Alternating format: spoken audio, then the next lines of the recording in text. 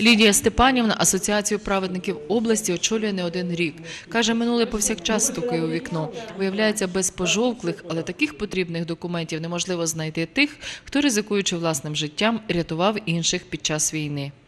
У січні місяці 2011 року буде відзначатися Міжнародний день Голокосту в цілому світі, то ці матеріали, ми, які я знаходжу, я здаю у Єврейську раду України. Сьогодні подала заяву, щоб мені е, знайшли у списках євреїв одна з цієї сім'ї Рахель е, Рувіновна Олександр була врятована у місті Рівному, корінна жителька міста Рівного.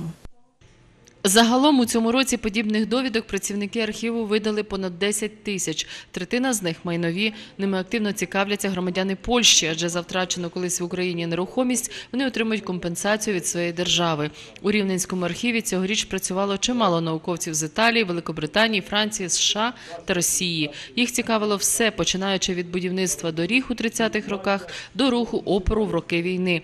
Директор архіву Микола Григорук радіє не лише професійному святу. Каже, вже багато років намагається зробити укріплення корпусу на вулиці Кавказькій, і лише тепер справа зрушила з місця. Дякуючи е, першому заступнику голови е, облдержадміністрації Антону Олексійовичу Юхіменко, який професійно підійшов до цієї проблеми. На сьогоднішній день вже розроблений проєкт, який пройшов експертизу.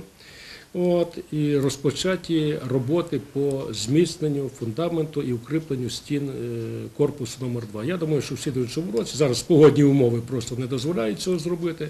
Я думаю, що в слідуючому році це питання вже буде вирішене.